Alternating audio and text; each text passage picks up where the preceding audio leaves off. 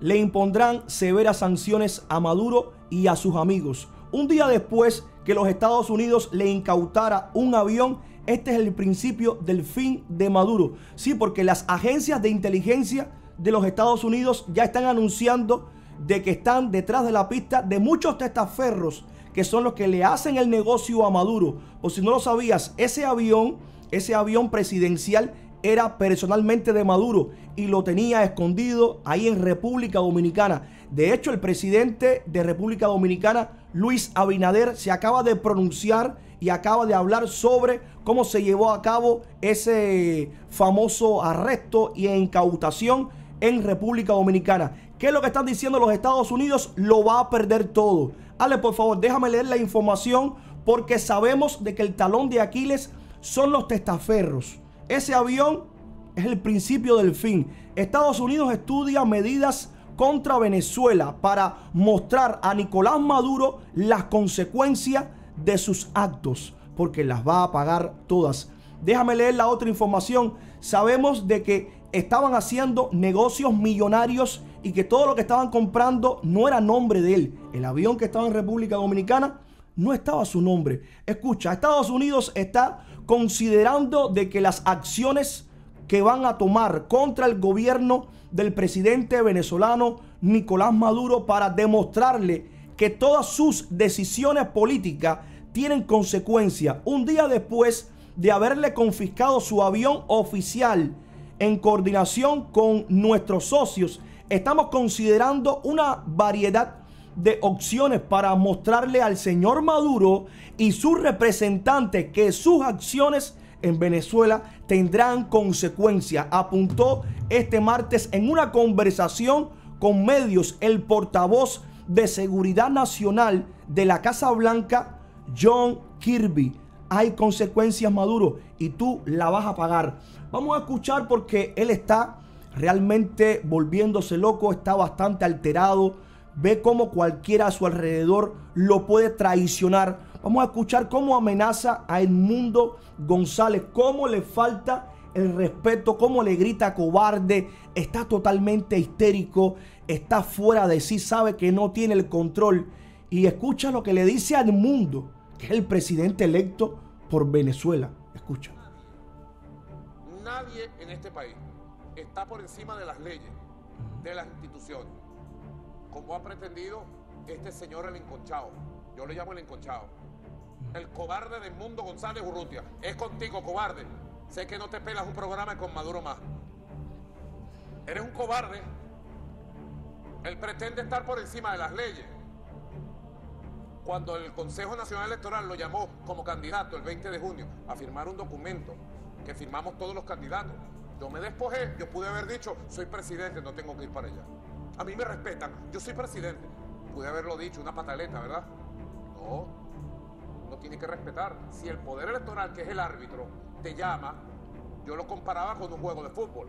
Imagínate tú que un juego de fútbol, el Barcelona contra el Real Madrid.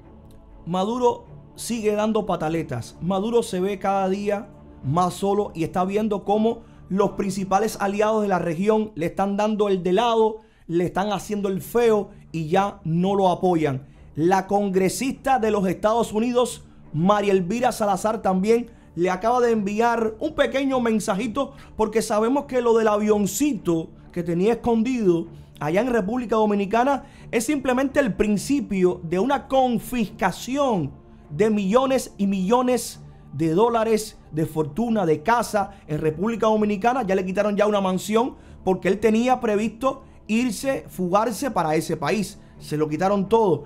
Dice María Elvira Salazar, primero el avión, luego el dueño. Hablando de República Dominicana, el presidente Luis Abinader, que ha sido realmente uno de los presidentes que ha marcado una postura bastante fuerte en contra de Maduro. Eh, de hecho, ahí en República Dominicana se llevó a cabo esa reunión en que todos los presidentes se pusieron de acuerdo y le dijeron a Maduro, usted no es el presidente, usted no ganó las elecciones. Vamos a escuchar al gobierno dominicano, la justicia fue la que autorizó que los Estados Unidos fueran y recogieran el avión, porque si toda esa investigación se llevó a cabo, las autoridades dominicanas permitieron de que los Estados Unidos intervinieran y se llevaran el avión. El avión no estaba a nombre de Maduro. Ese avión estaba a nombre de los testaferros y las agencias. Te voy a poner ahora la investigación de las agencias de inteligencia que están diciendo que donde se metan los van a encontrar. Escucha primeramente lo que están diciendo en Dominicana. Escucha. Ha sido recabada por el Ministerio de Relaciones Exteriores base a la información que ya teníamos y en conversaciones con el Ministerio Público. En mayo, el Ministerio Público recibió una solicitud de cooperación jurídica internacional para que fuera inmovilizada o secuestrada una aeronave Dassault Falcon 900EX con el fin de, decía la solicitud, comillas, realizar registros de evidencias y objetos vinculados a actividades de fraude, contrabando de bienes para actividades ilícitas y lavado de activos. Fin de la cita de la solicitud. Todo ello en el marco de una investigación criminal que llevaba a cabo el Departamento de Justicia de Estados Unidos. Dicha aeronave se encontraba en territorio dominicano para fines de mantenimiento, lo cual es algo bastante normal, pues en el país hay servicios de muy buena calidad para ese tipo de aeronaves. El 22 de mayo pasado, el Ministerio Público obtuvo una orden judicial emitida por un tribunal nacional competente que autorizó a inmovilizar la aeronave en cuestión. En el día de hoy, 2 de septiembre, se recibió una nueva orden judicial autorizando la entrega de la aeronave al Estado requirente, es decir, a Estados Unidos y por lo tanto el Ministerio Público entregó la aeronave y el gobierno estadounidense la trasladó hacia su país. Ya. Ni el gobierno dominicano. Así es como hay que hacer. Hay que ir detrás de todas sus fortunas escondidas. Recuerden de que esos millones de dólares no son de ellos. Se lo han robado a un pueblo que está luchando en estos momentos y que están decisivos alcanzar su libertad. También escuchamos cómo empezó a dar pataletas Maduro y envió una orden de captura en contra del mundo González. Esa orden, eh, por más que lo amenacen, lo han citado tres veces, ya le mandaron esa orden de captura. Sabíamos de que en cualquier momento podían incautar o allanar la vivienda del mundo. Por eso es que el mundo y también María Corina Machado están en un lugar a solas y protegidos. Pero en estos momentos ellos no se esperaban de que varios países contundentemente reprocharan esa orden de captura. Argentina, Costa Rica, Ecuador, Guatemala, Panamá, Paraguay, Perú, República Dominicana y Uruguay rechazamos de manera inequívoca y absoluta la orden de arresto emitida por el juez del juzgado especial primero del Tribunal Supremo de Justicia de Venezuela en contra del señor Edmundo González, candidato presidencial de la oposición en el pasado proceso electoral del 28 de julio del 2024. Dicha orden de aprehensión cita varios supuestos delitos que no son más que otro intento de silenciar al señor González, desconocer la voluntad popular venezolana y constituye una persecución política Nada, ellos no se imaginaron de que los países, una vez más, hasta los principales aliados, Brasil, Colombia, eh, los izquierdistas, dicen, no, no, no, no toques al mundo, no le puedes tocar ni un pelo, no lo puedes hacer. Vamos a escuchar también las declaraciones de las agencias de inteligencia para que la, para que la gente entienda y, y para ponerlos en contexto. Hay una agencia de inteligencia de los Estados Unidos que es la encargada de seguir el rastro de todos los testaferros, de todos los millones de dólares que está destinando Maduro para sacarlo de Venezuela y después cuando él salga de Venezuela, si es que lo dejan salir, porque ya le dieron la oportunidad de hacer una transición pacífica y no la quiso, no la tomó. Así que la otra decisión va a ser capturarte, porque ya están diciendo que donde se metan, en el lugar que se metan, esas agencias van a ir por ustedes y los van a encontrar. Escucha, para que sepa. Es que para nosotros es extremadamente importante eh, haber incautado este avión. Es parte de una investigación que está en curso y, como ya habrán podido ver, eh, la investigación tiene que ver con violaciones a las leyes de los Estados Unidos, especialmente leyes de exportaciones y a las sanciones de Estados Unidos. So, una vez más, demuestra el, el, compromiso que tenemos y la habilidad que tiene nuestra agencia para hacer eh, incautaciones como esta. La evidencia que tenemos nos llevó a poder incautar el avión, pero no descartamos acciones adicionales. El avión, como saben, eh, sí estuvo en la República Dominicana antes de llegar aquí a los Estados Unidos.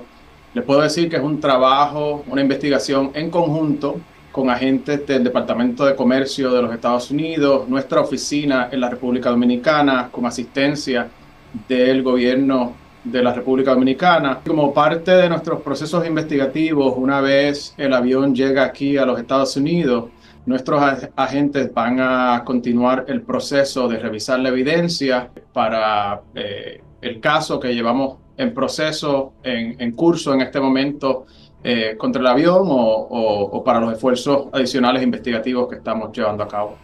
En ese mismo avión buscaron a Alex Saab a Estados Unidos cuando se negoció la entrega de Alex Saab. Es decir, ya ese avión había estado en Estados Unidos, ¿no? Eso es correcto.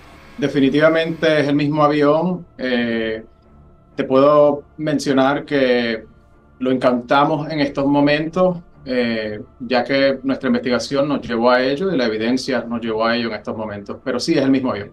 Nuestra agencia, eh, específicamente el grupo interagencial eh, contra el lavado de dinero aquí en Miami, liderado por nuestra agencia El Dorado. Lleva una historia investigando la corrupción y el lavado de dinero en Venezuela, con éxito, incautaciones. Hemos interrumpido el flujo de más de 2 billones de dólares, hemos confiscado más de 700 millones de dólares y hemos acusado a más de 30 personas vinculadas a corrupción o lavado de dinero en Venezuela. Así que nuestros esfuerzos eh, datan de 5, 6, 7 años eh, eh, cuando, cuando tiene que ver con corrupción y lavado de dinero en Venezuela. El mensaje es claro, nuestra agencia tiene una presencia global con oficinas en más de 90 países alrededor del mundo y vamos a utilizar todas las herramientas investigativas que tenemos para continuar con estos esfuerzos y, y poder traer ante la justicia a los responsables eh, de todo lo que, lo que mencionaste anteriormente relacionado a, a este avión y la incautación que acabamos de hacer. Nuestra agencia trasladó el avión desde República Dominicana hasta aquí, Fort Lauderdale.